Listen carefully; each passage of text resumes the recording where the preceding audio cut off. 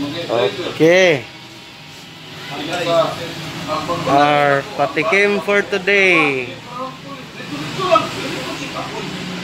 Philippine ramen. Ano Philippine ramen? Tuwara. Pinoy ramen. Ay lang, Japanese. Japanese na, uy, ramen. Oh, Japanese day. Japanese ramen. Sorry guys. Our menu for today is Japanese ramen. Requested by. Architect Bugi Sarabi. Gumban. Tinidor be. Oh, kadiyot ha. Jangan sa dagang dahon, di dagang dahon. Na, nabili na, nabili ng tinidor. Oh, namin tinidor niya. Okay. Ano eh?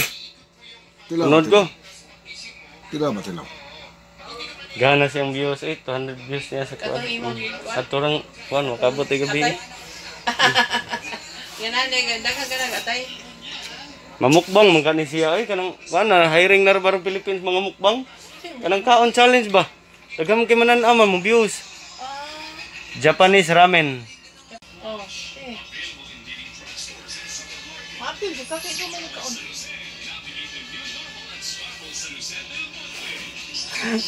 Palito na itong model eh. Stricto kanang kuwan, murag yung si Rapitulpo. Dali na. Yan kaniyo sa hangit usa. Di ko. Pungit sa usa. Pungit sa... Kadugayan na ni daghanan niya kalipan sige. Sige na tayo. nothing I, I can do.